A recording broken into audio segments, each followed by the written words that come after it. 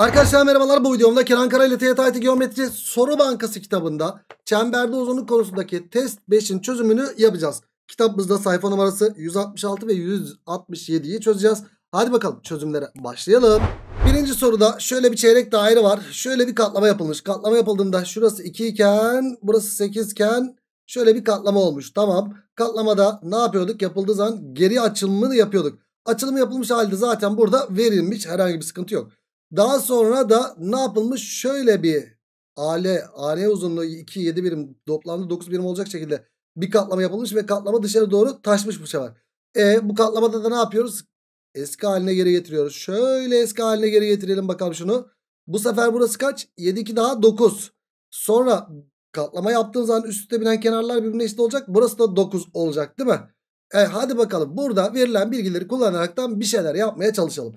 Şimdi ilk başta katlamaya bakalım. Katlamada şurası 8 birim burası da 2 birim. Çemberde en etkili silahımız yarıçap. Al sana yarıçap. E şuradaki katlamadan dolayı üst üste binen açılar da eşit olacak. Burası 90 derece olacak. Ben şuraya bir A dersem yarıçap uzunluğu A artı 2 oldu. Yani burası A artı 2 oldu. Hocam Pisagor bağıntısı hissedelim. Valla 8 varsa ya 6 8 10'dur. 6 yazdığımızda çıkmıyor. Ya da 8 15 17'dir. E, 15 yazarsam 8 15 17 sağlaması tutuyor. Yarıçapı 17 bulmuş oluruz. Tamam. Şimdi yarıçap 17 bulduysak o zaman burası kaç yapıyor? Toplamda 9 buradaysa o zaman 8 kaldı buraya. Tamam 9 burada 8 burada o zaman buraya da 1 kaldı. Şimdi bir Yiğit'in bulduğu doğru sonuç nedir diye soruluyor. Bir dakika OB'nin OB'nin katlanılan parçanın altında kalan doğru parçasının uzunluğu. Yani bizden bu sefer şuradaki uzunluk isteniyor. Hmm. Şimdi bu uzunluğu bulmaya çalışacağız biz burada. Arkadaş şimdi sen burada bu katlamayı bu şekilde yaptın. Bu çizgi burada değil mi?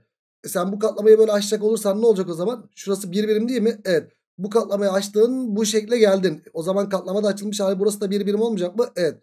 Şimdi burası bir birim. Bak dikkat et şurası bir birim. O zaman buraya kaç kaldı? 8 kaldı. E bizim en etkili silahımız neydi? Yarıçap çizmek değil miydi? Evet. Çemberin merkezi burası. Buradan bir yarıçap çizersek böyle bak şu uzunluğu bulmaya çalışıyoruz. Katlanmış halindeki simetriğindeki bu uzunluk burası yapıyor. Yani bir birim bu tarafta bir birim bu tarafta. Şimdi şuradaki uzunluk isteniyor benden demiştik. E o zaman burası da x. Şu uzunluk kaç? Bu uzunluk 17 değil miydi? Çünkü yarıçap uzunluğu ve şuraya dikkat et burası da 16. Hocam Pisagor x 16 ve 17 yani 17'nin karesi eşittir 16'nın karesi artı x'in karesi olacağından dolayı 17'nin karesi 289 eksi 16'nın karesi 256 eşittir x kare yapıyor. E, o zaman buradan ne geliyor? Şundan şunu çıkartıyoruz. 3 burada 3 burada 33 yaptı. x kare 33 ise x de buradan kök 33 çıkar. Yani birinci soru Akçay çıktı. Geldik ikinci soruya. Şimdi bunlar dik kesmiş. Ya normalde iç kuvvet denilen bir şey var ama biz daha öğrenmedik bunu. Şöyle 6 çarpı 8 4 çarpı şu uzunluktan A. Yani 6 çarpı 8 eşittir A çarpı 4'ten dolayı. Aslında öğrendik konu anlatımında. Bilenler buradan yapsın. 48 bölü 4'ten kaç çıkıyor? 12 çıkıyor. Evet buraya 12 bulmanın kolay yolu bu. Tamam. Ama ben şimdi farz edelim müfredatta yok. Müfredatta olmasına olmamasına rağmen ben konu anlatımında söyledim ama Hadi biz yine de işlemimizi yapalım. Burada merkez var, kiriş var. Çektik. 2 eşit parçaya bölecek. 14'ü 2 eşit parçaya böldü. 7 7. 7 burası 1 burası. Burada da merkez var, kiriş var. Çektik. 2 eşit parçaya bölecek. A dersem burası A artı 4 ise burası da A artı 4 mi yaptı? Evet. Şimdi dikkat et 1 iken burası 1. A iken burası A. En etkili silahımız yarıçap. Al sana yarıçap. Al sana yarıçap. E hocam bu da yarıçap bu da yarıçap. Bir burada Pisagor bir de burada Pisagor'dan A'yı bulabiliriz. Yani r kare birincisinde neye eşit? Şuraya yazıyorum. R kare birincisinde 1 ve a artı 4'ün karesi. 1'in karesi artı a artı 4'ün karesine eşit. İkincisinde r kare neye eşit? a'nın karesi artı 7'nin karesine eşit. Açalım bunu. 1 artı a kare artı 8a artı 16 eşittir. a kare artı 49 yapar. a kareler buradan gider. E, bu toplamda kaç yapıyor o zaman? Şurası 17 yaptı. E 49'dan 17 çıkınca 32 kaldı. 8a eşittir 32 ise a'yı buradan 4 buluruz. A buradan 4. Bak 4. 4 4 8. E, burası da kaç yaptı? 8. 8 4 daha 12. Biraz önceki yaptığımız işlemde de 12 bulmuştuk zaten. Çemberin yarıçapı isteniyor bizden. Şimdi biz A'yı kaç bulduk? 4 bulduk. A 4. İster 1 ve 8'in kareleri toplamından istersen 4 ve 7'nin kareleri toplamından bul fark etmez. R kare neye eşit? 1 ve 8 daha kolayıma geldi. 1'in karesi artı 8'in karesi 65 yapar. Öbürü de 16 artı 49 o da 65 yapıyor mesela. R'yi de buradan ne buluruz o? Kök 65 olarak buluruz. Yani cevap Balıkesir oldu ikinci soruda. Geldik üçüncü soruya. Sözel bir soru. Sol alt köşesi A. Uzun kenara AB olan ABCD dikdörtgeni çiziniz. Hemen ABCD dikdörtgeni çiziyorum şöyle ve sol alt köşesi A uzun kenarı da AB olan diyor. Şurası olmadı. Şöyle yapalım. Burası da olmadı. Şöyle bir düzgünce çizebilsem. Heh oldu galiba. Evet ABCD dikdörtgeni şöyle sol alt köşesi A, B, C ve D. Uzun köşe yerinde AB olan. Kısa kenarı kaçmış 12 santimetre ve çevresi 60 olsun diyor. Hocam 12'si burada. O zaman şu ikisinin toplamı 30 mu yapacak? Evet 30 yapacak. 18 olacak o zaman burası. Çünkü bu ikisi 30 bu ikisi de 30. Çevreden gittik. Ya da A dersin A dersin 12 dersin 12 dersin 2 artı 12 artı 12 eşittir. E, 60 deyip oradan sonuca ulaşırsın. Merkezi dikdörtgenin içinde olan B ve C köşelerinden geçen. Evet merkezi dikdörtgenin içinde olan B ve C köşelerinden geçen çember AD kenarına bir de AD kenarına teğet olan bir çember. Arkadaşlar AD kenarına teğet olan bir çember çizecekmişiz. Şöyle ee, bir de nereden geçecekmiş bu? B ve C'den geçecekmiş. İşte çemberimiz böyle olmaz mı? Evet. Tamam bunu çizdik. Buna göre çemberin yarıçapı nedir diye soruluyor arkadaşlar bize. Arkadaş burada e, merkez kiriş çektik. Merkez kiriş çektik. Merkez teğet çektik. Yapalım şurada. Arkadaş burada da merkez var kiriş var. Çek dik yapalım. Tamam.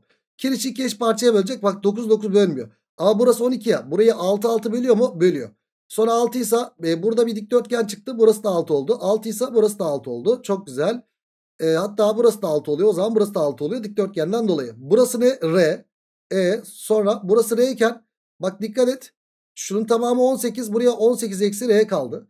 Hocam burası da 18 eksi R yaptı. Hatta burası da 18 eksi R yaptı. Hatta burası da 18 eksi R yaptı. E takıldık kaldık. Takıldığımız zaman ne yapıyoruz? En etkili silahımız. Yarı çap. İster buraya çiz, ister buraya çiz, ister buraya çiz. Fark etmez. İstediği yere çiz. Çizdik yarıçapı. Hocam burası da R. Yarıçap olduğunu göstereyim. Al sana Pisagor. Normalde R kare eşittir 18 eksi R'nin karesi artı 6'nın karesi deyip işlem işlem işlemle R'yi buluruz. Ya da 6 varsa büyük ihtimalle 6 8 10 üçgendir. R yerine 10 yazarsak 18 eksi 10'dan burası 8 yapıyor mu? Yapıyor. Yani R'yi böylelikle 10 buluruz. Sağlaması da tuttu. Cevap böylelikle Akçay oldu 3. soruda. Geldik 4. soruya. Merkez varsa teğet varsa çektik. Hemen çektik yapıştırdık. E hocam ben buraya A dersem yarıçap uzunluğu bizim için çok önemli. Bak A artı 9 yarıçap. Hocam A artı 9 yarıçap. E şurada dikten dik çizilmiş öklet. X kare eşittir 9 çarpı 10 artı A demeyelim. Şurası var bunun karesi bu çarpı tamamı değil mi? Evet. A artı 9'un karesi eşittir 9 çarpı tamamı. 19 artı A yaptı. Bizden de X deniyor. Hmm, şimdi burada çözeceğiz arkadaşlar bunu. Vallahi burada bunu çözerken işlem kalabalığı yapacağız biraz. İşlem kalabalığı yaparken de böyle biraz sanki hissetsek mi diye e, böyle aklımdan da geçmiyor diye. Açacaksın bunu normalde. 9 çarpı bu. Şunu açacaksın. Ondan sonra çarpanlara ayıracaksın. Çarpanlara ayırırken de sayıları hissedeceksin ya.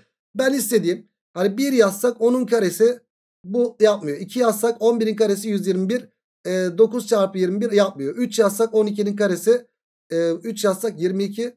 9 180 yapıyor. Bu da yapmıyor. 4 yazsak e, 4 yaptığımız zaman 9 23 yapıyor. Do, 3 kere 9 27 200'lü bir şey yapacak. Değil mi? Evet 3 kere 9 27 9 18 207 yapıyor. Burası da yapmıyor. Kaç? 4 5 yazsak 5 yazdığımız zaman kaç yapıyor? 24 9 çarpı 24 acaba 5 yazdığımız zaman kaç yapıyordu burası? 14 yapıyor. 14 çarpı 14 yapıyor mu? Yok yapmıyor. 3'e bölünmüyor. 6 yazsak kaç yapıyor? 15'in karesi yapıyor bu. 15 çarpı 15. 6 yazdığımız zaman 25. 9 çarpı 25 yapıyor mu? Bakalım 5'e bölsen 5'e bölsen 3 yapıyor. Arkadaşlar 225 yapıyor. Demek ki A dediğimiz kaç yaptı? Hissederek yaptık ama biraz uzun hissettik. Kusura bakma. Çarpanları ayırmaya da, da aynı e, sürede bulurduk büyük ihtimalle. Buradan A'yı 6 bulduk. Tamam A6. A6 ise o zaman bizden x deniyor. Dikten dik çizilmiş. Öklit x karede 9 çarpı 16'ya eşit. X kare de eşittir 9 çarpı 16'dan dolayı. Yani x kare eşittir 144'ten dolayı x'i de böylelikle kaç buluruz? 12 olarak buluruz.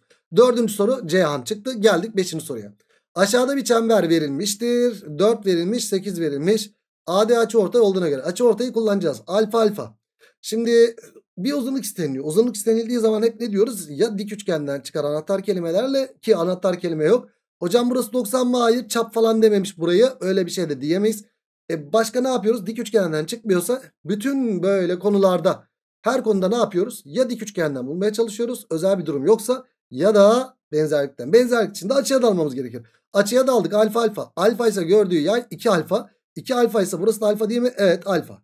A birer açılara eşit oldu. Bak şu üçgenle şu büyük üçgende birer açılara eşit olan üçgen var. Şu bizim sevdiğimiz kalıp. Ortak açı burası. Bak alfa karaladığım 3. açı çift çizgi ise alfa karaladığım öbür üçgende de burası da 3. açı çift çizgidir. Şimdi alfanın karşısı 4 iken alfanın karşısı 8 olmuş. Oo 1'e 2 oran var. Çok kolay. Çift çizginin karşısı 8 ise çift çizginin karşısı da kaç olacak? 16 olacak. Yani x'i de böylelikle kaç buluruz? 12 olarak buluruz. Normalde alfanın karşısı 4 bölü alfanın karşısı 8 eşittir. Çift çizginin karşısı 8 bölü şurası da x artı 4 derdik. X artı 4 deyip işlem yapardık ama güzel kolay bir benzerlik olduğu için 1'e 2 oran hemen cevaba ulaştık arkadaşlar. Cevap 12 yaptı 5. soruda. Yani Denizli yaptı. Geldik 6. soruya. Şimdi burada ne var? Çap var. Bir kere ben çapı kullanacağım büyük ihtimalle. E hocam yarım çember de var burada. Şunu şöyle çizersem çapı gören çevre açı 90 derece. Hatta bunu da çizersem çapı gören çevre açı 90 derece. Yapıyor mu? Yapıyor. Evet. Çapı gören çevre açı, çapı gören çevre açı 90 derece. E hatta burada aşağıda çapı da kaçmış? 20'ymiş. 10, 10 yaptı burası da. E ben bunları kullanmam lazım. Bunu nasıl kullanacağım? Bak 16, 20. Şuradaki üçgende 16, 20. 12, 16, 20 üçgeninden 12 çıktı burası. E sonra ne yapacağız? 6, 12 burası 6 kök 5 değil midir? Evet. E artık burada da bir 90'lar var. Dal alfa beta'ya. Alfa, beta, alf. Ters açıdan beta. Burası da alfa. Şu üçgenle de şu üçgen benzer değil mi? Benzer. Ya da şeyden de yapabilirdik. Kuvvetten, hiç kuvvetten dolayı. Ama müfredatta yok. Belki bilmiyorsundur.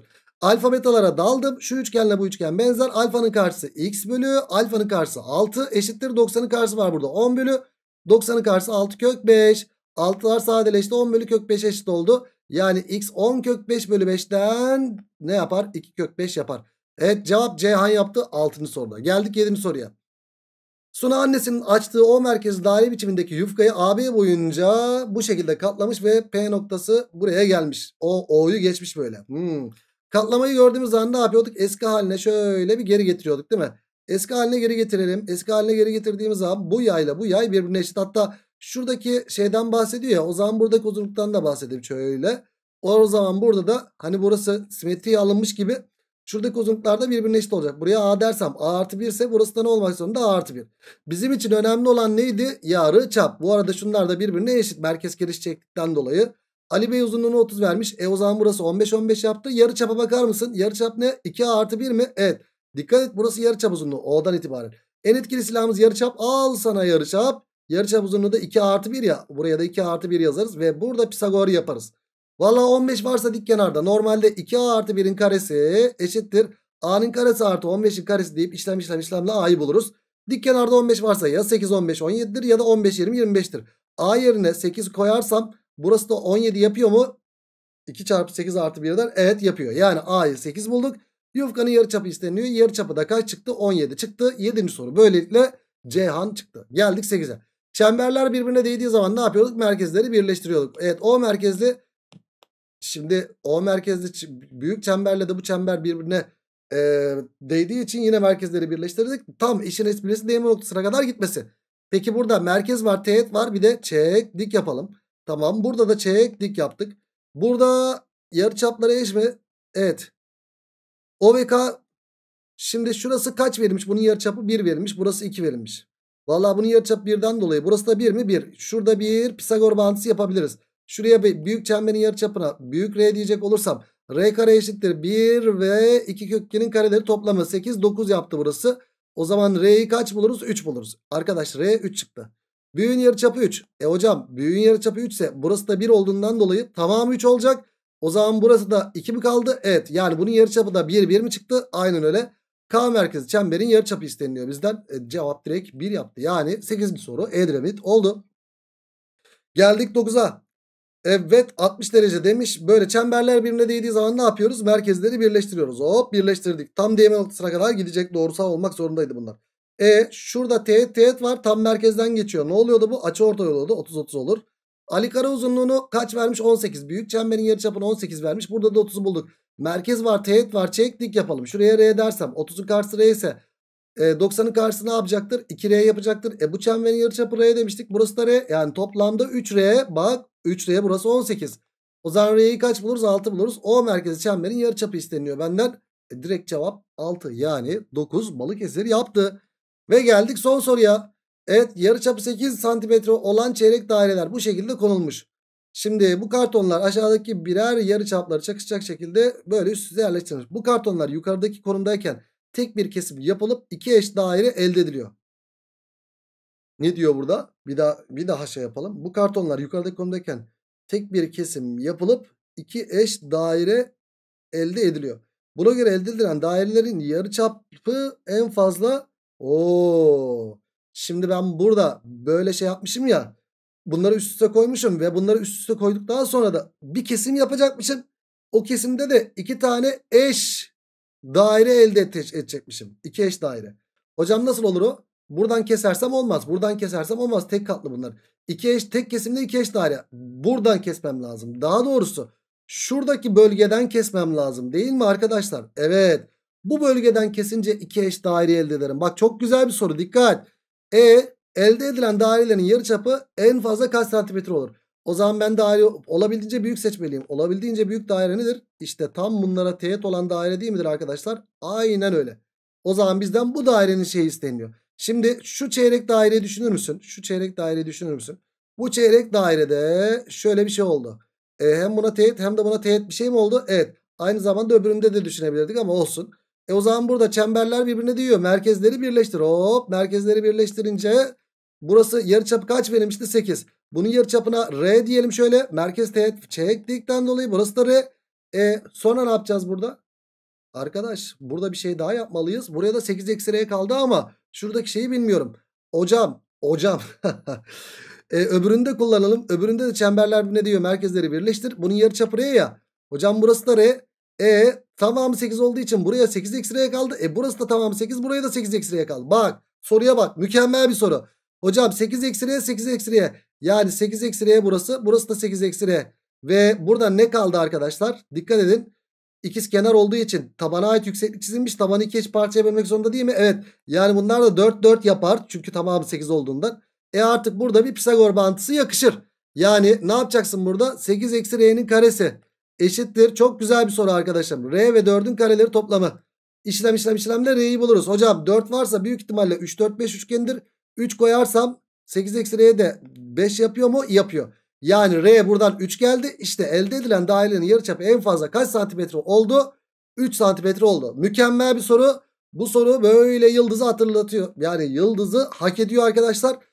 Sınavda çıkar. Çok güzel bir yorumlama sorusu olmuş. İki tane eş daire bu şekilde. Şu bölgeden keseceğim. Bunlardan en büyüğü işte en büyüğü hem bu çembere hem bu çembere hem de buraya teğet olan dairedir arkadaşlar. Mükemmel bir soru. Cevap Balıkesir yaptı ve böylelikle test 5'te bitirmiş bulunuyoruz o zaman. Bir sonraki videoda test 6'da görüşmek dileğiyle kendinize iyi bakın. Hoşçakalın.